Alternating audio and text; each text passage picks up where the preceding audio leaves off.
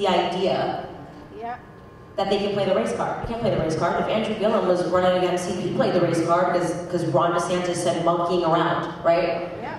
Yo, it's race. That's not racist. My, my, my, my favorite book growing up was No More Monkeys Jumping on the Bed. Okay. The word monkey doesn't offend me. I'm sorry. I, my mom used to call us little monkeys when we were kids. Like, I don't know. We're so offended. Everybody knows what monkeying around means. It has nothing to do with black people, okay? Yeah. So I think about how we win. Thank you. I don't have a monkey. I'm really sorry. Um, but I think about how we're going to win. We have to start engaging candidates um, that are in the minority community, that are charismatic. And this next speaker is such a perfect person to be here in Richmond, Virginia, because he's, he's run. Uh, and he's going to talk to you about some of the issues that are happening here. They're happening here in Virginia. He actually ran against Governor Ralph Northam. It's quite amazing, right? Um, so he's the president of an organization called STAND. Please welcome to the stage Bishop Jackson.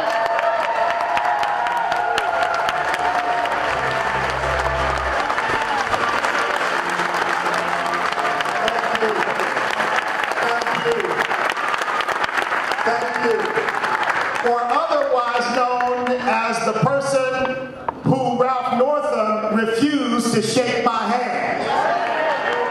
Well, you know, since we're so close to the Capitol, let's send a message to Governor Ralph Northam. First of all, I want him to know once again,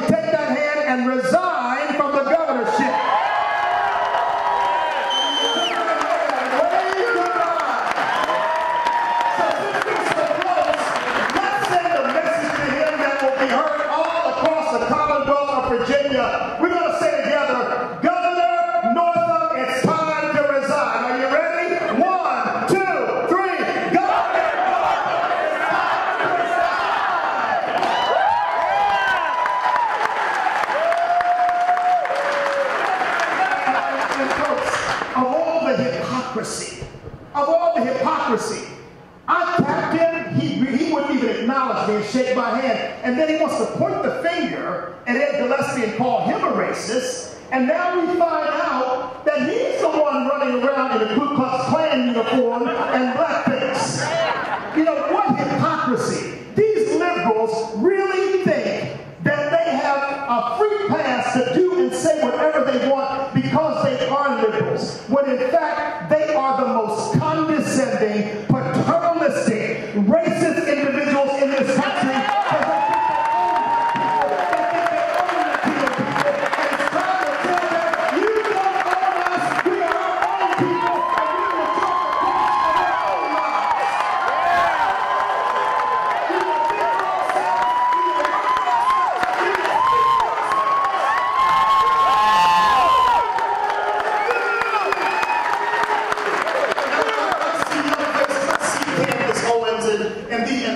People who have come out.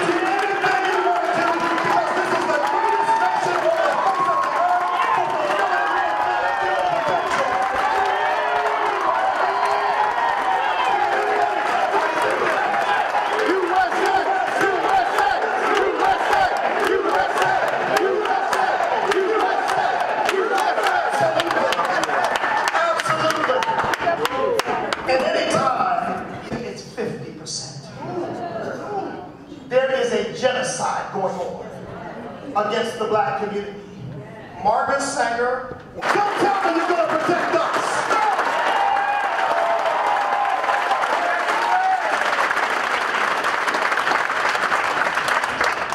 And so I just want you all to understand, we, we, from an oath to the Constitution of the United States of America to preserve, protect, and defend it against all enemies, foreign and domestic.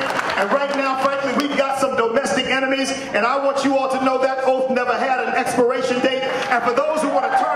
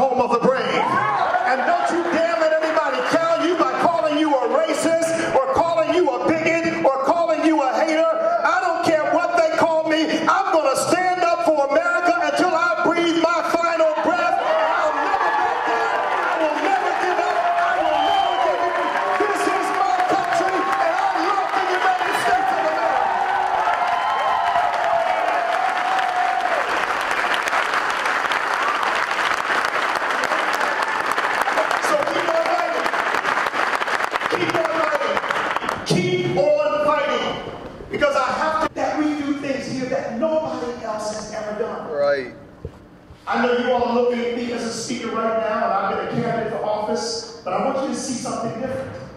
I want you to shift around to foster homes until 18 months old, and then stay in a foster home until I was 10 years old. I was a street kid. I was a gang member. I was a petty thief. I was doing all the wrong things. And then something wonderful happened in my life. My father failed in the fifth grade because I could barely go. I was busy hanging with my dad. And I almost failed out of fifth grade. I went from being an F student in fifth grade to being an A student in sixth grade. Wow.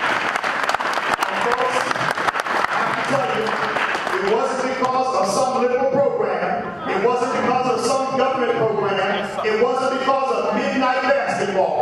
It was because I had a dad who said son, this is the United States of America. You can make of yourself anything you want to be.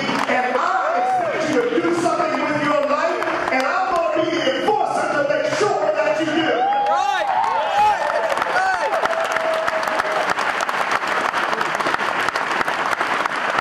in America. And so I want you all to know that we got a fight on our hands, but we're going to win. We're going to win. Because we're on the right side of this thing. That's why we're going to win. We're going to win because our founding fathers, and in spite of all the, the, the, the nasty things that are said about them, our founding fathers bequeathed us a nation unlike any that's ever existed on the face of the earth. When they when they penned the majestic, majestic words, be self-evident. That all men are created equal and endowed by our Creator with certain inalienable rights. That among these are life, liberty, and the pursuit of happiness. That was a promise to every